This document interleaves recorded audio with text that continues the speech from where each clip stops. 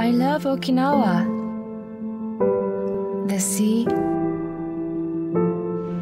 the wind, the music, and also the people make me relaxed. It seems like soft and warm voice telling me everything's gonna be alright. I am Uchinanchu. My father is from Puerto Rico and my mother was born in Okinawa. And you are Uchinanchu too.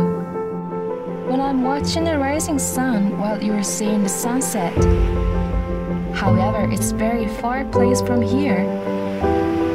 I think the peace of my soul has a probably the same thing with the peace of your soul.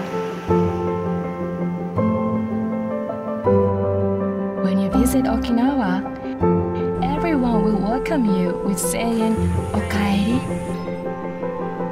Okaeri. Okaeri. Okaeri.